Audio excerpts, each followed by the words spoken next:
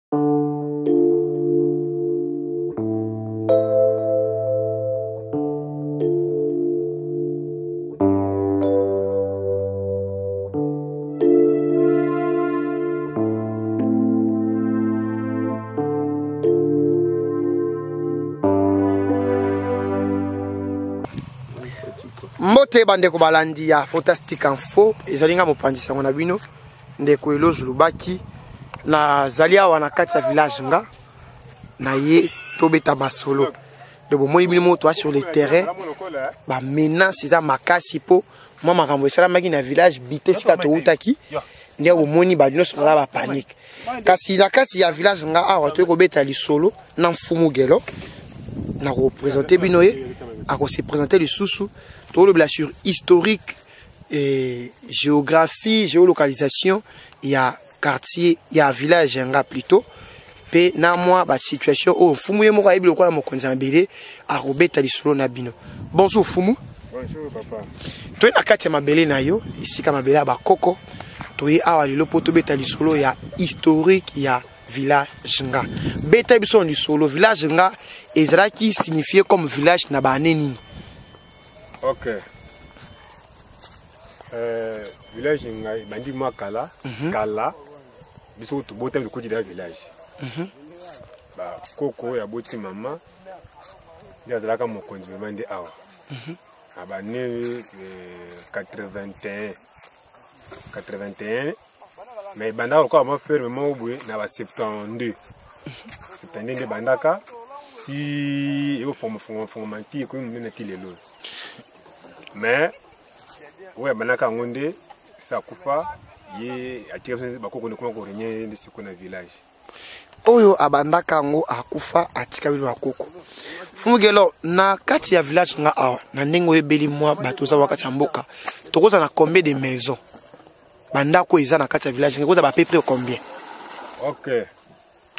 na mboka awa uh, bamaison eza habité ezali 375 mm -hmm. 375 maison donc na ndako na par ndako eza na bafamille nango famille nango oui na ah, famille nango soki tokende tokotata na mboka omona donc ndako ezali babalabala toza na toza na 27 avenue mhm.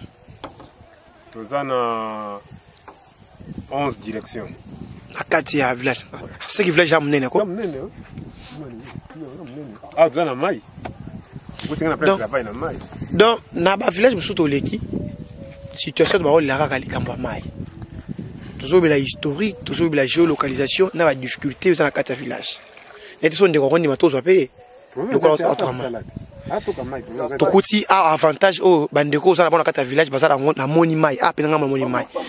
na kati ya geolocalisation ya village nga penepene na oza na bavillage nini ok village nga d'abord ezali capitale ya groupement kingakati hmm. village nga ezali capitale ya groupement kingakati soki eyini na groupement biso ndoki tosala intervention aba mboka mosusu baya ah bon oui donc frontière so na ye groupement na boye mose village mose mhm. na boye zamba frontière na, na rais mhm. euh, parc euh, de la vallée na nsele tokamana bango na boye toke ti menkao mhm. na geolocalisation na yo na ndenge ovandi yo moko na kati ya mboka na bato bazali nzinganzinga na yo est ce que cohésion lisolo ya malamu olekaka na bachef ba bazala zingazinga na yo oui biso malamu ezalaka nango mais mwa barake moke na bafermier nde topotalapotala na bango balingaka nini bon kaka problème ya frontière tala kaka ferme na village baza eza différent eza différent eza différent makasi yo sikoyo soki mboka ezokola yoki esika osalaka te mais mboka ezokola ezoprogresse bana mboka bazorécupere ndambu ndambu kasi ko est ce que na kati ya village nga awa ba soins de santé ba école ba église oyo ekopermettre ke mouvement ezala ezalaka mpenza bon toza na ekole moko ya bien malgré tout tokoma mpe tikona tokomona makambo nyonso na kati ekole mpe batonga yango me bana afandaka na se mpo na nini baba eza te ame ah, toza na toyebi ke mokonzi ya mboka atiaki gratuité ya enseignement etu etu etu tokokoma kuna okomona yango oza ekole conventionnel catholique ngai natangisaka kuna ah bon? bana bana banaka na se nasaka befort kotoka kotya baba ndamu ndamu me baboti baotangisa bana na système ya gratuité kaka to kofuta mpe mwa mosolo mpo na ane toyokana mwa eloko 2000 francs par mois 2000 francs ah 2000 francs par mois chaque mois donc 2000 francs bakokokaka te bakokokaka yango mpe kaka te soki ke tobengana lelo ekolo moko kokende e eh! donc ezali parmi badifficulté makasi eza donc scolarisation eza mwa pasi koscolarise motu donc eza pasi pasi dede mhm. toa centre moko ya bien te donc centre moko ya bien oyo ke koko asire biso ke mwa kama oyo intervention rapide eza te donc soki ata bato ya privé bakoyela bakosala bacentre de santé problème baye basongoli esika bavandi basali mosala na mboka bibi tozali koleka mamai oyo mai oyo ti tokoma wuti ye moi ekauka nango na kati ya sosa oui mais tozomona mai eza ebele ekita nango mingi te ekita mingi te en plus emplacement mpe ya mai nde tosalaka yango eza mpo bozanga bamoyen donc selo modele nodengaka eza bongo te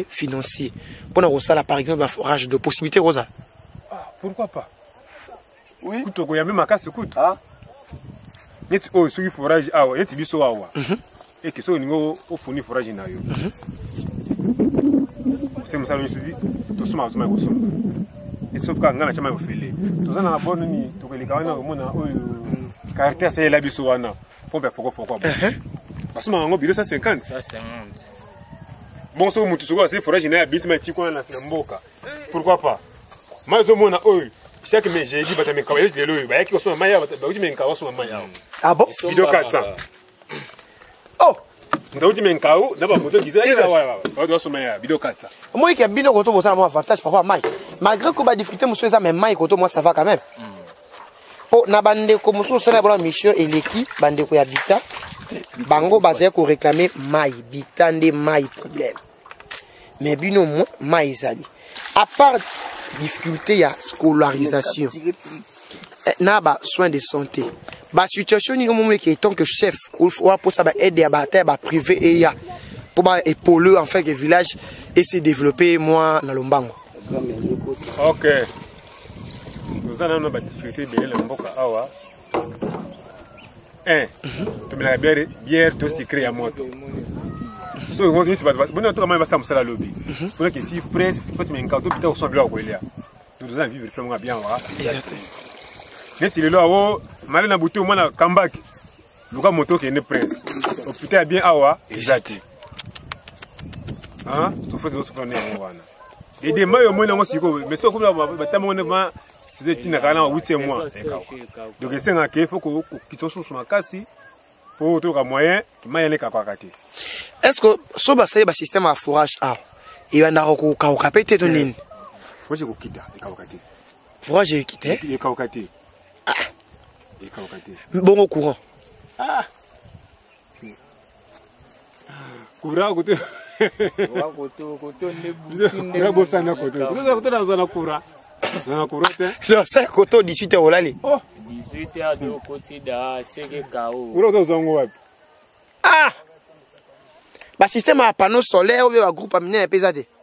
bon tosala kaka bapano hein.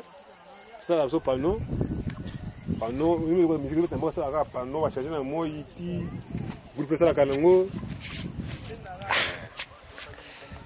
siko banda yo ye na kati ya village nga oza mokonzi ya mabele awa na ndenge oyo moko ozweli bokonzi kino lelo omoni mboka ekende ndenge nini Ah.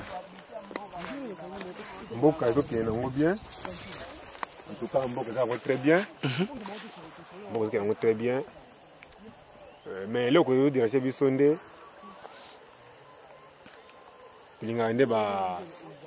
ba activité moko ya ya mbongo ekota na mboka mpo bajene mpe basi ba activité commerciale hein? ba activité commerciale ezala na mboka mpo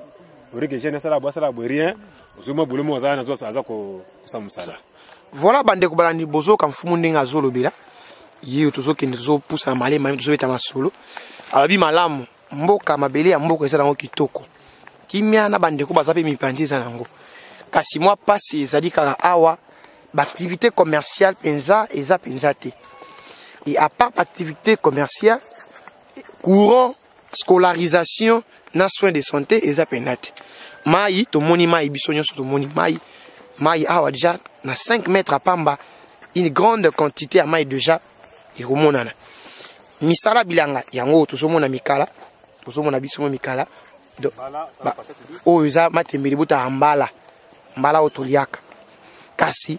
asengi na bandeko bainvestisseur baentrepreneur oyo baza na bamoyen amoniki aza na makoki na ye akoki koya koinvestir na domaine ya mai na domaine ya sante na, na domaine ya scolarisation ayebi malamu ye moko aza mpe enseignant azali enseignant ye moko na ekolo otangisa baba roma aba voilà tomoni so eloko mosusu ya mai fourage yango oyo yango bandeko bopompe na kati ya village nga situation ya mai eza mpenza mwa facile donc tomoni biso moko forage yango oyo bandeko basesa forage oyo yango entreprise oyo esala forage oyo yango donc kosala cope ya mai awa eza nango possible ezali possible mpe rentabilité ezali koimagine bidon moko awa ezotekama na 400 francs moto awuta depuis menkau aye ti boye koluka mai donc omoni soki awa ata mwa 10 bien 11 forage ezali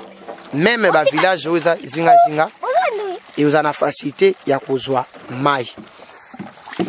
oza na makoki ya kosalisa baaktivité o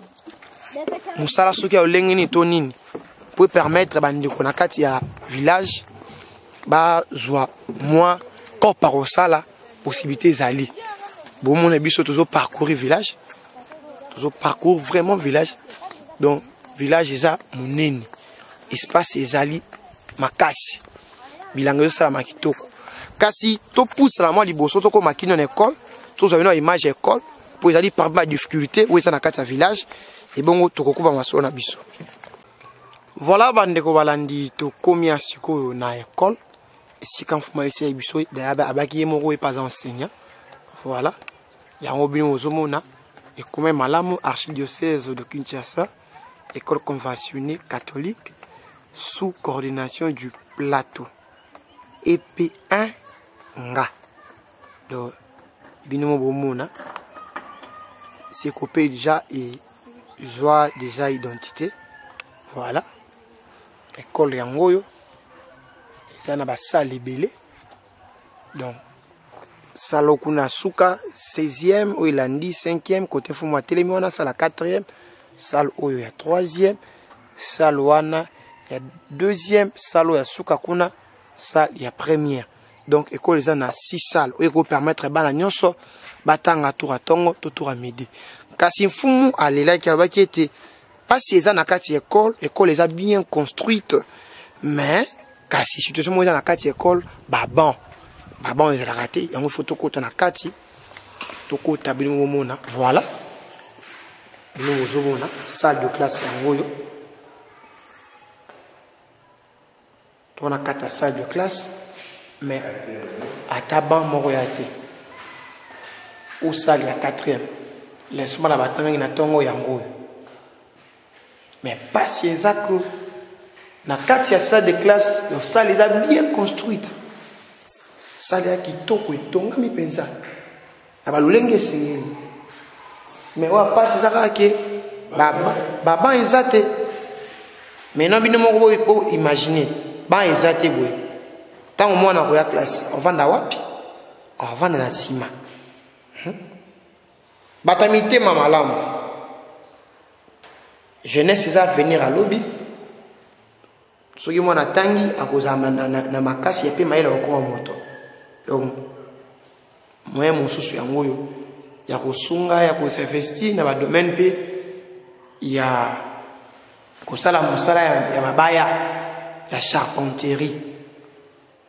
donc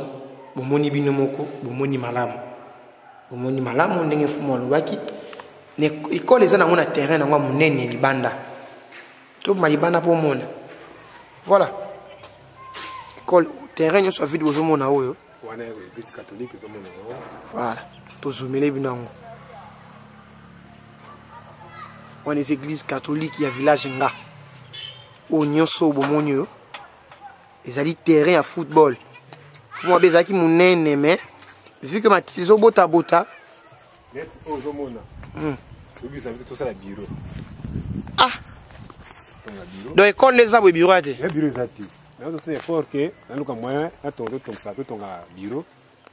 na biloko tobima wese eza te o oh! yo tala wese baya basombelaka tomona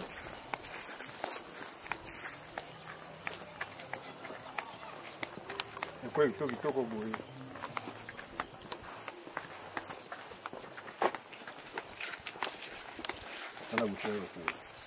voilà installation hygiénique eza te awa nde esika bana bayaka kosala nzongo nzongo inene do libanda kaka boye soki imagine mwana akomi soko mia na, na, na basixième primaire wana na baage ya 11 ans mwa déjà conscience ezalaka soko soki mwana mwasi propre te atako mpe mwana mobali propre te mpo ete mposa nzongo ntango eyaka elakaka te ekoya ngonga oyo elingi donc mwana mosusu akotala ah, libanda boye fo akoti zamba ebongo soki na zamba kuna kini ata nzete etubi na lokolo lo bino moko bomoni na bilili bomoni kasi tokozonga epa mfumu papa ya solo basuka par rapport ya makambo nyonso oyo eza na kati ya village ngai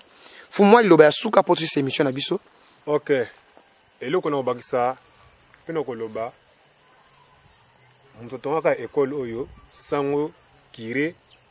asengaka ye aide mais tant que misolo esilaka te aza na minkao balongoli ye aya tout elali ntango ya kei nyonso tout vraiment elali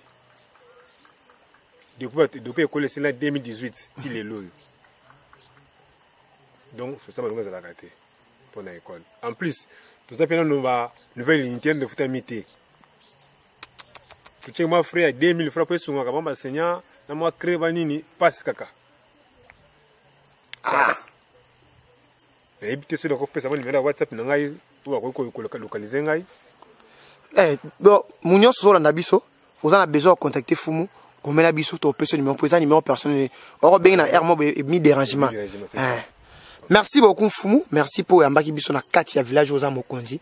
tosopeli mingi mpenza ya kosala émission na mpo tolobela na historique géolocalisation badifficulté na baopportunité oyo eza na village nga bandeko balandi bino bokomoni bosabone na chaîne na bino fantastique info bosuggere biso mpe basujet oza na besoin ya kozwa numero ya telefone ya mfumu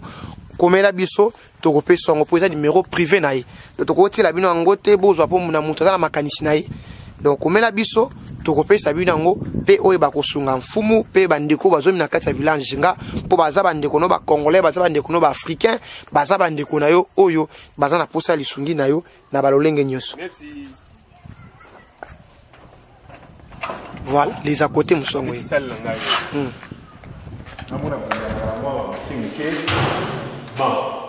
ozokita nango eza bakosunga kosoma libaya outa okonoye nango obeti yango boza nasekide bomoni bino osala sixième sala bana sixième mais babande problème